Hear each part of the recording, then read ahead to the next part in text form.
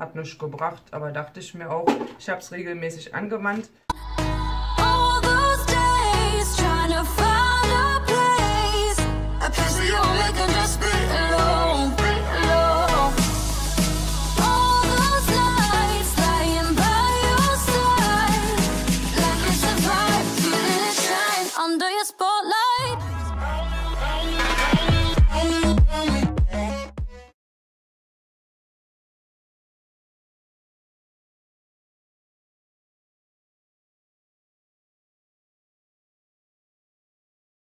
Auch hier kommen wir zu meinem Dr. Beckmann Ball, wo diese trockener Parfümtropfen reinkommen.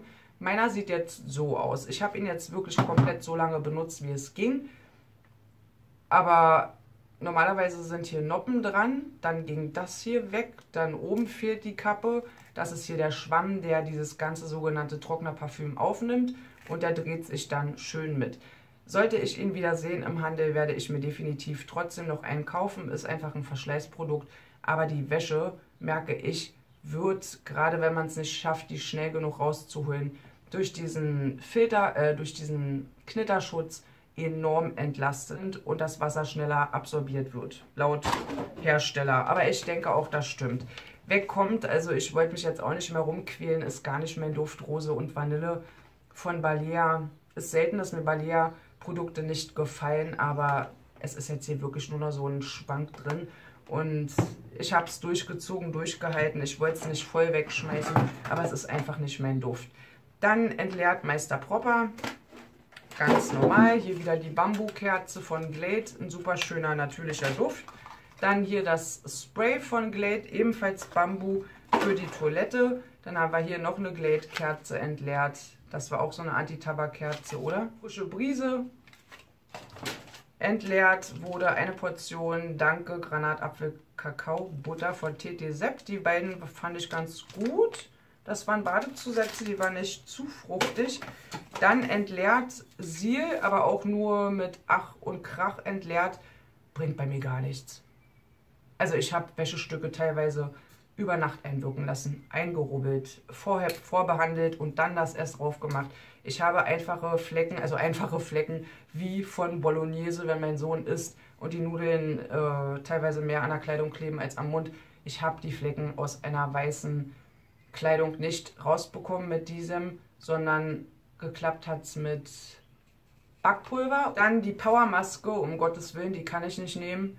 Ich habe sie ja jetzt zweimal probiert und ich hatte das Gefühl, meine Haut schält sich. Das ist bei mir so einen negativen Effekt. Also meine Haut hat sich gepellt, wirklich überall an den empfindlichsten Stellen. Und das möchte ich einfach nicht mehr. Ihr habt da auch eine Altersempfehlung, ab wann man die Maske benutzen sollte, von 30 bis 50 ungefähr. Valea Med Ultra Sensitive Tagescreme.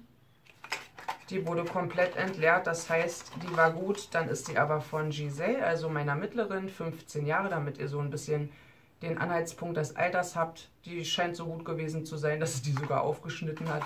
Ja, Flop-Produkte hatte ich in einem Schminkvideo gesagt, obwohl ich mir gewünscht hätte, dass sie so schön auf den Lippen mit diesem Ombre-Look aussehen. In lila Pink sind die von Benefit, die Lipsticks beim Auftrag tun sie das nicht, was einem hier versprochen wird. Und für 26 Euro äh, Tschüssikowski. Das ist zum Beispiel so eine Farbe, die ich sehr gerne getragen habe, ist aber jetzt umgekippt. Auch eines meiner Lieblings-Liquids, Superstay 24 Stunden von Maybelline New York.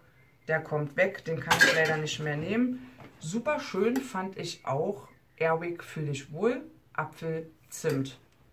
Das war hier so ein riesen Klopper. Den Rest kriegt man nicht mehr. Also hier klebt noch eine, ein Teelicht, was ich reingestellt hatte. Den Rest kriegt man leider nicht weg, aber es ist fast alles weggebrannt. Also es wirkt jetzt noch ziemlich viel. Ich werde das auch reinigen, dass ich das Glas weiter benutzen kann. Ich finde das nämlich schön. Eventuell für irgendwelche Schminksachen mal wieder oder so. Dann entleert Odol Med 3 White Sensitive. Quatsch White and Shine. Würden wir immer wieder nachkaufen. Ebenfalls noch von Benefit ein Ombre Lippenstift, der für mich zu den Flops gehört. Dann hier für den Diffusor wirklich fast restlos alles rausgekommen, was verdampft. Oh, Jetzt geht's, glaube ich, los. Der Staub in der Kiste. Ein Flop-Produkt von Alverde, der setzt sich absolut eklig ab auf meiner Haut. Ich habe nicht eine große Tiefen- oder eine Faltentiefe habe ich nicht extrem oder enorm. Aber das ist ein Alverde-Produkt, ein Concealer, den ich furchtbar finde. Der sieht sowas von, wie sagt man, cakey? wenn das so bröckelt, also wirklich, man hat dann Mosaikfalten so ungefähr. Manchmal Umwelt top. Aber dass man davon so schwärmt, also das habe ich nicht verstanden. Vielleicht ist meine Nase echt schon so verwöhnt, also ich gebe es ja zu. Ähm, Weichspüler hat auch getan, was es sollte. Ich wollte es mal ausprobieren, aber es ist nicht der Renner. Also es ist für meine Nase nicht der Renner. Ich bin verwöhnt, verwöhnt gebe ich zu. Pflegekick finde ich ganz angenehm. Mache ich auch nicht oft, ein, zweimal die Woche, wenn ich wirklich sehe morgens, oh Gott, du kriegst so Panda-Augen oder angeschwollene Augenringe, dann hilft das wirklich. Selbst wenn es nur Einbildung ist. Hauptsache die verschwinden, aber ich vertrage das sehr, sehr gut. So, dann Strawberry Booster, finde ich auch toll, war in der My Little Box, glaube ich, drin. Ist natürlich noch in Verwendung, aber ich kann ganz klar sagen, das ist ein richtig schöner Auftrag. Die Haut ist auch richtig schön samtig. Übertreibe ich aber auch nicht. So, ein Flop für mich ist jetzt endgültig Nivea Glow Beauty BB Cream 5 in einem Tagespflege. Passt sich dem Hautton an mit Magnolienextrakt. Also ich fand den Ton erstmal absolut dunkel und ich finde das Gesamtbild nach ein paar Stunden ganz, ganz grottig auf meinem Gesicht. Oder es gibt bestimmt da draußen welche, wo es wirklich klappt. Huch, dann auch wieder entleert unsere Tuben, von denen wir, glaube ich, noch ein Jahr leben können. Oral B. Nicht denken, dass wir die beim Zahnarzt klauen, sondern die haben wir freundlicherweise zugeschickt bekommen. Und deswegen haben wir jetzt sehr, sehr, sehr, sehr, sehr, viele Proben. Mann, ich schäme mich schon selber für meine Aussprache. Ich wollte es einfach schnell halten, dass es vielleicht ein ein Video wird, aber ich sehe, ich muss es teilen. Oder hab's dann schon geteilt. Das wird hier der Teil 2 gewesen sein. Und die Masken, lasst mich mal kurz überlegen. Doch, von Sante, die waren gut, aber der Duft. Öh, ich bin auf diesen Duft gar nicht klar gekommen. Es gibt Düfte, auf die kommen manche Menschen nicht klar. Und das war so ein, da war so ein Bitterstoff. Ich kann es euch nicht erklären. Ich habe sie wirklich super gut vertragen und würde sie wahrscheinlich auch wieder kaufen. Aber der Duft, also wenn es so hochkroch in die Nase, das war wie so ein starker Kräutertee mit so, ja, wie so ein Kräuterlikör, der ständig irgendwie in die Nase gezogen ist mit so einem Bitterstoff, den man wirklich auf der Zunge gemerkt hat. Also ich rieche ja nicht mit der Zunge, aber es gibt so Stoffe, die schmeckt man durch die Dämpfe und es war mir, also angenehm war es nicht. Ich stelle das mal zwischen Top und Flop, weil meine Haut war ja danach wirklich auch absolut okay. Das ist das letzte. Hier noch einmal so ein Glade, von dem ich ja wirklich bis jetzt schwärme, weil die mit einem Pumpstoß dem Schwefel AD sagen. Und deswegen würde ich das zu den Top-Produkten zählen. Die Glade Toiletten Mini Spray Flaschen, die man in den Halter immer wieder reinsetzen kann. So, ich muss mal zusehen, dass ich das wegbekomme, denn jetzt geht es noch los mit Hashtag Ich bin dabei, wer Interesse hat. Das habe ich nämlich im Februar vergessen, habe ich ja gesagt. Ich sammle ja immer in meiner kleinen Spur hier so Sachen an, die ich wirklich nicht gebrauchen kann und wo ich sage, das ist vertretbar, dass ich das rausschicke, weil ich es noch nicht angebrochen habe. Es wäre einmal ein ganz neues Balea Parfüm Deodorant Golden Moon. Man sagt, es riecht so leicht nach Alien von Thierry Mugler.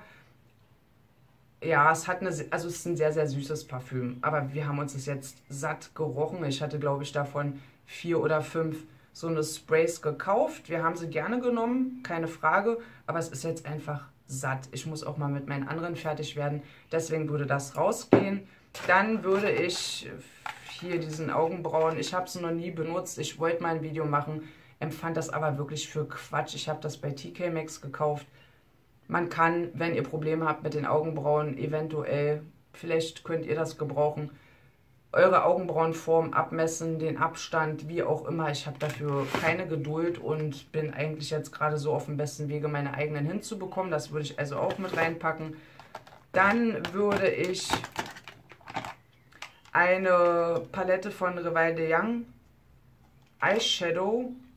Das ist die 01 Disco Fever. Ihr habt hier auch einen Spiegel drin, also wirklich für unterwegs sehr schön. Die ist unangebrochen, die hatte ich mitgenommen, weil sie im Sonderangebot waren. Ihr seht hier, das ist auch noch alles verschweißt. Die würde dann mit raufgehen. Und einmal Handcreme, eine unbenutzte von Essence. Die sieht so aus. Und eine Palette ebenfalls aus dem Sortiment, aus dem Sortiment, die rausgegangen sind. Die Rainbow Shimmer Palette. Es spricht mich jetzt nicht so an, ne? Wie gesagt, die waren reduziert, ich habe sie mitgenommen. Ich glaube, meine andere hat Jolene, also meine große Tochter, und die ist auch noch verschweißt. Ja, der Rest kommt im nächsten Monat, der hier noch drin ist, aber diese fünf Sachen würde ich dann raussenden an denjenigen, der mir wieder unten runterschreibt, Hashtag ich bin dabei. Wer es haben will, kann es gerne haben. Und das war es von mir. Ich bedanke mich fürs Zugucken und sage an dieser Stelle erstmal Tschüss. Bis zum nächsten Mal. Ich glaube, jetzt waren drei Videos in dieser Woche draußen und eventuell auf Karat gefragt. Da sappel ich ja von meinem Leben immer ein bisschen. Ich denke, ich gehe auch da mehr in die Materie, privater zu werden. Die Holz werden vermisst. Foodholz passen jetzt hier nicht mehr hin. Ich muss es irgendwie verbinden mit einem Thema, dass ich da dann Foodhol mal machen kann. Karat gefragt, weiß ich nicht. Wer mich fragt, mein Foodhol schmeckt mir, könnte ich passend zu meinem Kanal dann wahrscheinlich so ein Video generieren. Dann wird das auch mal passieren, dass ich dort wieder ein Foodhol hochlade, weil die vermisst werden, wie gesagt. Und ansonsten, wer Einschlafhilfen braucht, der kann mich auch gerne anschalten. Da laufen öfter mal Videos über 50 Minuten. Und ja, ansonsten Karat Nails noch, ne? Das Ding lebt auch noch. Werde auch sicherlich bald wieder ein Video hochladen. Und ja, das war's. Macht's gut. Ciao, ciao. Schalten Mund. Bye, bye. Bis bald.